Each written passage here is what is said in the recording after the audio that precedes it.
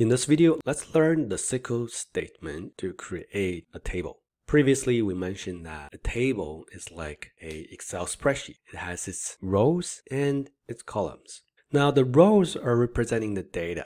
When we try to create a table, we are not concerned about the data yet. We are only concerned about the structure of the table. Now, what determines the structure of the table? It is those columns that determines the structure of the table. Therefore, when we try to create a table, we need to specify the columns. I know that this course is all about learning SQL.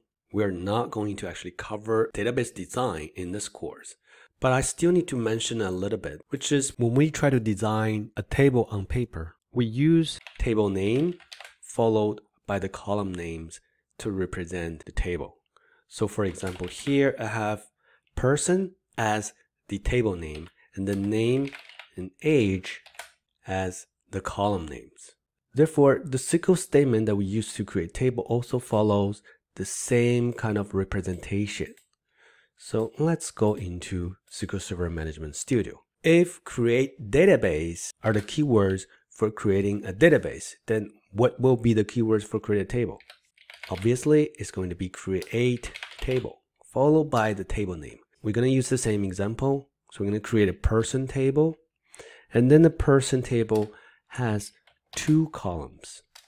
It's going to have a name column and then the age column. Now you can see that there's red squiggly lines, meaning that there's syntax errors. Right? So there's problems with this representation of the table. Why? Because in the database, we need to specify the data type. Right? Here, the data type needs to be specified right after the column name. Here, the name of the person should be a string. We're going to use characters to represent the string, and the length of the character is going to be 50. And then age is going to be a number. So here I can say int, which represents integer. Now you can see the right squiggly line is gone. Another thing I want to mention is typically a table may have many columns. So when we write SQL statement to create a table, typically we want to break this into different lines. So this is what we usually do. We break from here and then have each column occupy a line so that it looks really, really clear that we have these number of columns and what, what are the type of the columns. Another thing I want to mention before we actually create a table is that we have our SQL Management Studio connected to a SQL Server, which is a database management system. Remember, one database management system can have many databases, and inside each database, we can have one or many tables. So when we create a table, we have to be very clear about inside which database are we going to create a table. Here, I want to create the person table inside my first database. But from this drop-down list, you can see that I am currently targeting the master database, which is a system database. So this is incorrect. So there are two different ways to specify which database I'm going to use to create a table. One way is to use the UI, and I can just open up the drop-down and select database. Now, when I try to run this SQL statement, by clicking on the execute button. tells me that command is completed successfully. And if we open up the first database, open up the tables folder, highlight the tables folder and click on the refresh button here, you can see the person table is created.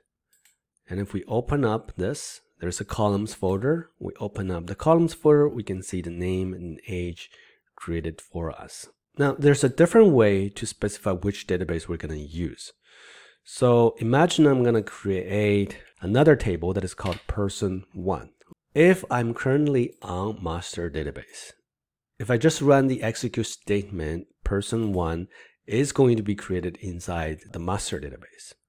But I want to create the person1 table inside the first database. So instead of using the SQL management UI, I can use a SQL statement, which is the use statement.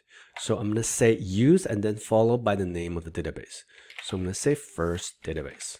When I do that, and then I click on the execute button, Even though on the UI, the current selected database is master database, this use SQL statement is going to switch database first and then run the create table SQL statement.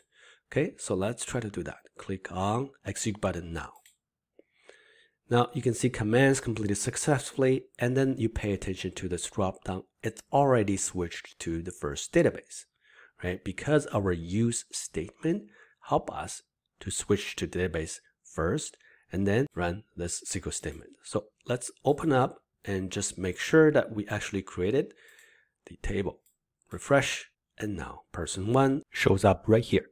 Again, we learned how to create table now let's try to delete those tables. So if drop database is the SQL command or SQL statement to delete the database, then what is the SQL statement to delete a table? You guessed right, it's drop table followed by the table name. So I'm going to say drop table. I'm intentionally use lowercase letters to show you that SQL statements are not actually case sensitive. And then followed by the table name. So there are person one, and I don't have to use uppercase. I'm just going to use lowercase. Like I said, even the name is not actually case sensitive. Okay, so I highlighted because I have multiple statement. I don't want to create a table again. I'm just highlighting this. At the same time, I make sure that I'm using the correct database. And then I press on F5. So commands completed successfully. Now I highlight the tables folder, refresh it, and I don't see the person one table anymore. I can do the same thing for the person table, but this time I want to use the UI to delete the table. Just right click on the table and then click on delete and confirm that we want to delete it. Click on OK. Now the table is deleted. Before I finish the video, I also want to show you how to create a table with the SQL Management Studio itself with the UI itself. So right click on the tables folder and click on the new menu item and select table. Now you can see that by default the name of the table is table underscore one. We can change the table name later. But now we can specify the column name and then the data type. Right? So we're going to use the same thing, char 50. And don't worry about this just yet and we're going to specify age as the second column and the type is integer. Now I can just click on the save button and it asks for the name of the table. I can change it to person and click on OK. Now the table is actually created and let's refresh this tables folder and we have the persons table created. Now you go ahead and try to delete this with SQL statement. So this is the exercise for you. I'm going to wait until you finish. Hopefully you have done it. Just drop table followed by the name of the table. So I this time I want to use uppercase. Like I said, usually SQL statements are written in uppercase. So I'm going to do Control Shift U. Immediately, all of the letters are changed to uppercase. And then I'm going to highlight the statement that I want to execute and then press on F5. Now, commands completed successfully. If I highlight the table folder and click on the refresh button, I don't see the table anymore. The table is deleted or we can see the table is dropped. Okay, that's everything I want to cover in this video. I'll see you in the next one.